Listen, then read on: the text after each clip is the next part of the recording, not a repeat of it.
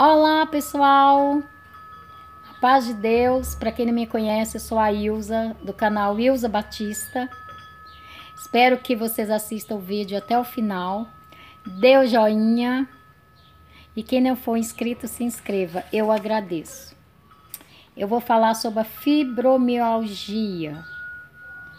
É uma síndrome a qual eu fui diagnosticada desde o ano passado, maio do ano passado, 2018, e faço tratamento.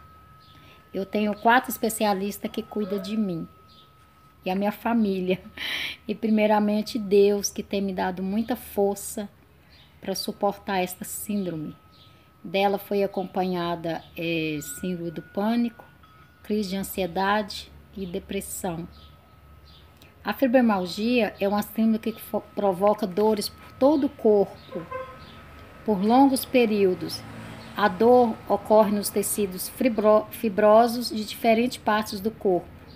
Eu fui diagnosticada em 18 pontos. Geralmente, a dor é difusa entre 5 a 7 pontos, partes do corpo, por um período de três meses após uma crise que, né, que nos vem acontecer. A fibromialgia ela causa um desconforto, ela causa um cansaço crônico, ela causa problemas de memória e concentração, insônia e sono não reparador.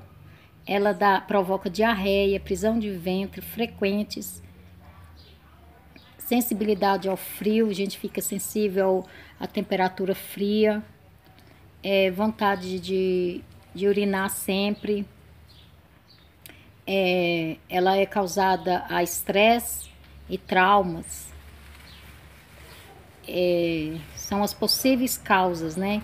Os médicos diagnosticam assim que são possíveis causas de estresse que a gente teve durante a infância, adolescência. Geralmente ela é diagnosticada entre quando a gente está na, na faixa dos 50 anos, podendo ocorrer né, de 35 a 50. Sensibilidade central. Pessoas com fibromialgia, no meu caso, nós temos é, alteração neuroquímica no sistema nervoso central, que aumenta a percepção da dor. Nós possuímos menos substâncias que inibem essa sensação e mais moléculas encarregadas de modificá-la, de amplificá-la. Então, quando a gente se é, está entre meio a uma situação que nos causa estresse, a dor, a tendência é só aumentar. Nós temos essa substância que encarrega de, de amplificar mais a dor.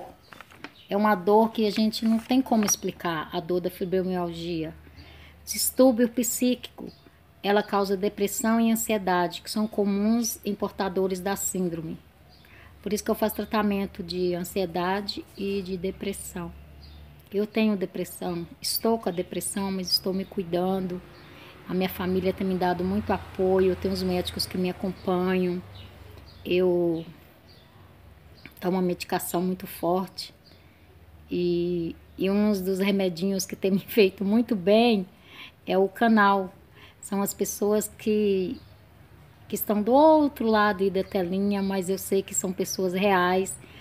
Eu consegui, através deste canal, amigos sinceros, pessoas que hoje falam comigo no WhatsApp, ligam para mim no meu telefone, a gente conversa coisas sadias, agradáveis.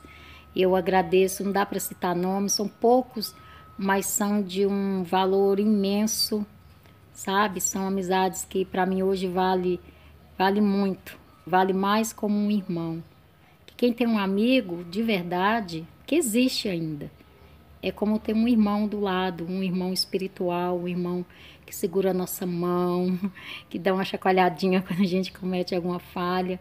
Que o amigo não está com a gente só na alegria, só com a gente está cometendo coisas certas, não. O amigo é aquele que vem, segura a nossa mão e fala, epa, dá uma paradinha aí, entendeu? Eu te amo, eu tô contigo, isso para mim que é o verdadeiro amigo. É, nós sentimos muita dor, muita fadiga, porque nós temos menos fibras nervosas. As nossas fibras nervosas são contadas a menos que a de vocês que não têm fibromialgia. Segundo um estudo, os portadores apresentam com menor densidade de fibras nervosas na epiderme, o que ajudaria a explicar as dores constantes e que surgem após um leve toque na pele. Quando nós estamos em crise de dor, se vocês tocar na pele da gente, a dor parece que aumenta mais. A gente fica sensível a tudo. Agentes infecciosos. O transtorno pode dar é, as caras após infecção bacterianas e virais. Além disso, seus portadores ficam mais sensíveis ao frio, à umidade, ao excesso de, de esforço e às oscilações hormonais.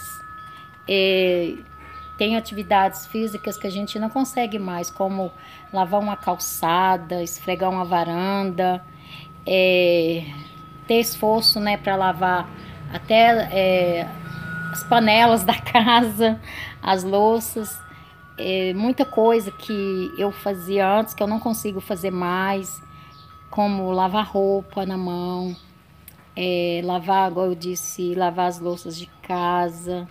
Às vezes eu não consigo nem pentear o meu cabelo, porque a dor é intensa. E eu tenho que fazer esse movimento aqui das mãos, assim, para passar o pente. Dói muito os meus braços, nas partes onde as fibras estão com a síndrome. E outra sensação horrível é quando pessoas nos colocam em situações difíceis, sabe? Da crise de ansiedade, da síndrome do pânico, dói. Esses dias eu passei por duas situações muito chatas, que não convém eu dizer aqui, nem citar nomes, nem como ocorreu, mas muitas pessoas viram a situação. Eu fiquei muito mal fiquei mal. No final do vídeo eu vou colocar para vocês o que, aconteceu após a situação difícil que eu passei, onde eu fui parar, o que tiveram que fazer comigo, tá? Eu tomei choque, eu fui para a lâmpada. É, eu tomo remédio à base de morfina. Eu tomo seis medicações fortes. Eu me cuido, eu faço tratamento, a minha alimentação foi mudada. É, a minha família toda tem, tem um tratamento muito especial comigo, eles evitam que eu veja situações difíceis, a minha família me protege de tudo que está ao alcance deles, eles estão fazendo para mim, para eu poder ter uma vida mais leve, para as dores ser menos, menos dores. E como diz alguém na minha família diz, menos dores e mais amores a partir de agora. E então, é isso que eu tenho que falar sobre a fibromialgia. No decorrer do vídeo agora eu vou colocar é, um vídeo que eu passei uma situação muito difícil. Se não me engano foi dia 13 de maio. Uma, 13 ou 14 de maio, mas tá aí no vídeo. Foi filmado eu lá no, lá no meu tratamento. Eu senti muitas dores. E é isso. Dia 17 de maio.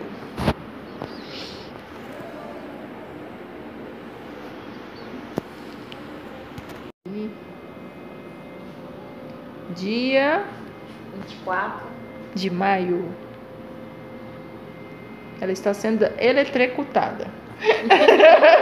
Doutora, tirador, não aguento tudo, é choque.